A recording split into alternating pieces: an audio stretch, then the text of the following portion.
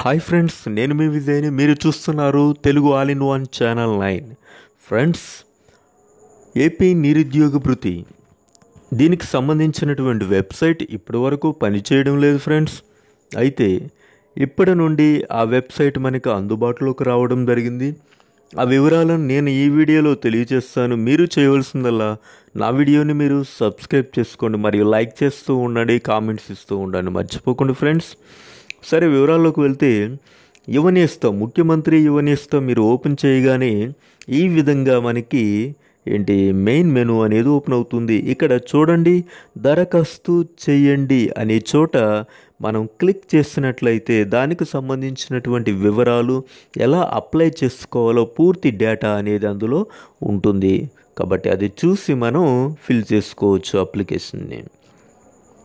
అదేవిధంగా దాన్ని కొద్దిగా స్క్రోల్ చేస్తూ వస్తే కనుక అసలు ఈ నిరుద్యోగ భృతి అప్లై చేయడానికి ఎవరు అర్హులు అని చూసుకుంటే అర్హత ప్రమాణాలను ఇవ్వటం జరిగింది. దరఖాస్తుదారులు నిరుద్యోగులై మరియు ఆంధ్రప్రదేశ్కు చెందిన వారై ఉండాలి. కనీసం డిగ్రీ లేక పాలిటెక్నిక్ డిప్లొమా పూర్తి చేసి ఉండాలి.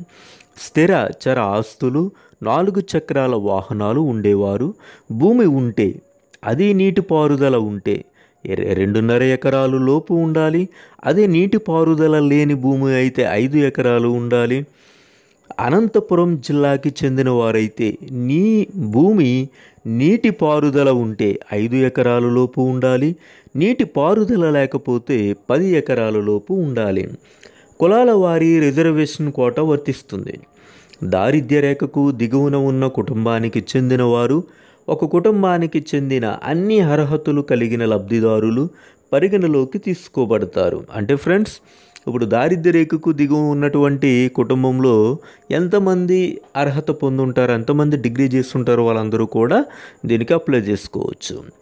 ఇరవై రెండు నుండి ముప్పై ఐదు సంవత్సరాల వయసులో ఉండాలి. స్వయం ఉపాధి కోసం రాష్ట్రం నుండి కానీ కేంద్ర ప్రభుత్వాల నుండి యాభై వేలు మించి రుణం పొందిన వారి ఎవరైతే ఉంటారో వారు అనర్హులు. కనీస విద్యార్హత లేని వారు ప్రభుత్వ ప్రైవేటు ప్రభుత్వ అనుసంధాన సంస్థల్లో ఉద్యోగులు స్వయం ఉపాధి కలిగిన వారికి అర్హత లేదు. ప్రభుత్వ విధుల నుండి తొలగించబడిన ఉద్యోగులు అర్హులు కాదు.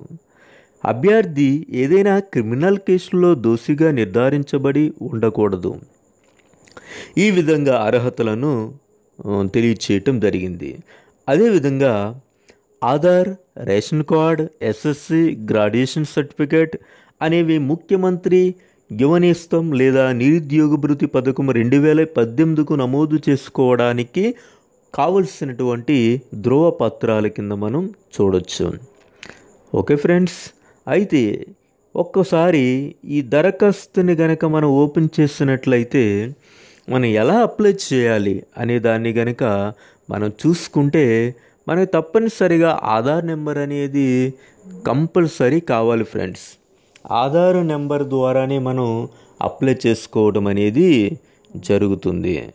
చూడండి కిందకి వెళ్తే నిరుద్యోగి యొక్క ఆధార్ నెంబర్ను టైప్ చేయండి అంది దీని మీద క్లిక్ చేసినట్లయితే కనుక ఆటోమేటిక్గా నెంబర్ను మనం చేసుకోవచ్చు. అదేవిధంగా ఇక్కడ క్లిక్ చేయండి అని ఓటీపీ వస్తుంది. ఓటీపీ కూడా ఆధార్ లింక్ ఉండాలి. ఇక్కడ క్లిక్ చేసినట్లయితే ఇక్కడ మీరు చూడొచ్చు. ఇక్కడ ఏమొస్తుందంటే ఆధార్ నెంబర్ వస్తుంది సెక్యూరిటీ కీ వస్తుంది. ఈ రెండు గనక ఇక్కడ మనం టైప్ చేసి వెరిఫై అనేది గనక క్లిక్ చేసినట్లయితే నెక్స్ట్ ప్రాసెస్కి వెళ్ళడానికి అవకాశం అనేది ఉంటుంది ఫ్రెండ్స్ ఈ విధంగా మనం అప్లై చేసుకోవచ్చు అప్లికేషన్ని అప్లికేషన్ని అప్లై చేసుకుంటే మంత్లీ మనకి థౌజండ్ రూపీస్ అనేది మన అకౌంట్లోకి రావటం అనేది జరుగుతుంది ఫ్రెండ్స్ ఈ వీడియో నచ్చినట్లయితే లైక్ చేయండి. ఏవైనా డౌట్స్ ఉంటే కామెంట్స్ రూపంలో కామెంట్స్ పెట్టండి ఫ్రెండ్స్